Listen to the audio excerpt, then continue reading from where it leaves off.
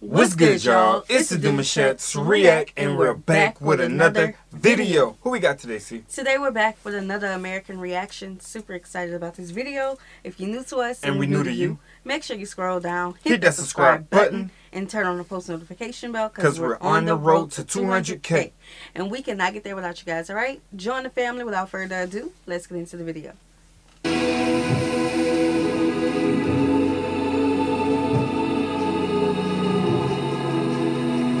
Was given more than 10 names on the day of my birth, and I have earned many since. Maleta, Mamdakwende, Kwangeshe, Vilemkube. These are the names of my forefathers who made everyday history. They are knitted into my breath. It is how I introduce myself. Clan names are how we carry the past to meet ourselves. South Africa is the place of many names. We peek through the majestic God's window to read stories preserved for us in rocks and sand dunes. We grind secrets and healing out of the plants which are native to this place.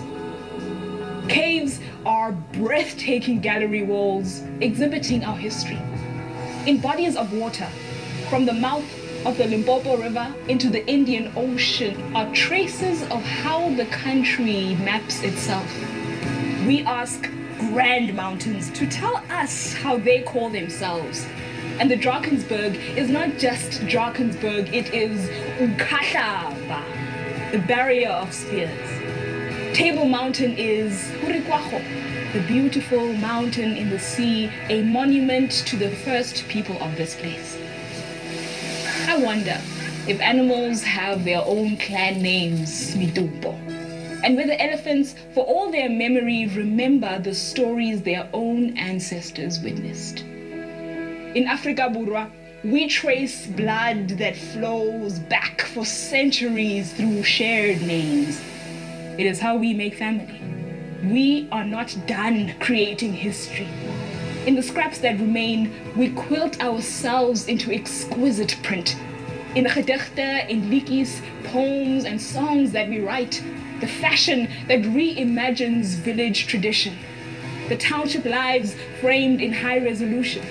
Skyscrapers like vibrant graffiti against a wall every day. Yina yitsala mavitola manswa. We write new names. And many of us know this place by one name home. But we are always ready to make new family, to add new names in the fabric of our story, like yours.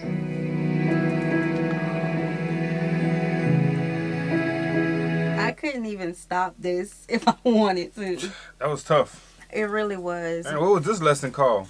Felt like she was just teaching us everything we needed to know in a whole new, deeper, deeper perspective. Like, Yeah, place She of cooked. names. gosh, she cooked. Yeah. Um, one of the things that she said that stood out to me was about the townships now being in high resolution because another part she said was about they're not done writing history. Right. And you know, Mhm. it's like understanding their history and knowing that every day is a work in progress. Here, there, everywhere.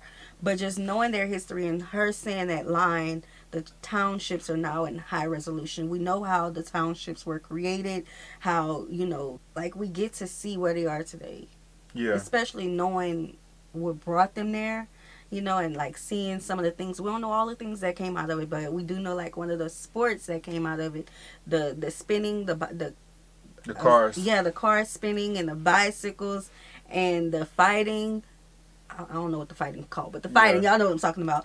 Um, just to see how the people are just so resilient in building up the townships, you know. Yeah, yeah. Her content alone was just beautiful, though, man. She really came together and painted a picture without even having to look at the visual that she had for us. Her words alone and how powerful she stood. You know what I'm saying? She's like a voice for hope for the people. Yeah, to yeah. let people have a real feeling of what it feels like to be in South Africa. Like that. She, she really. I need more content. We need more content from her because that was nice. That was That really deep. was. That was deep. It really was like y'all know we always stop and we always say, okay, well, what does this mean and things like that. We, Mhm. we couldn't stop for this one. Yeah. Um, it was just beautifully written. You Poetic. know?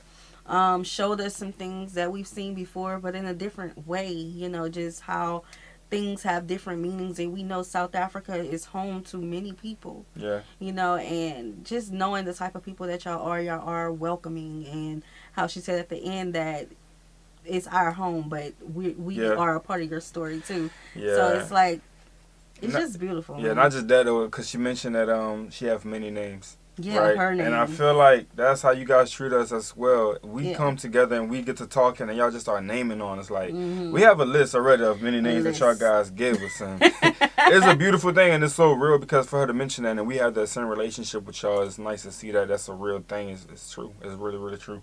yes, the more we watch, the more we're ready. Yeah, facts, ready. facts. Okay.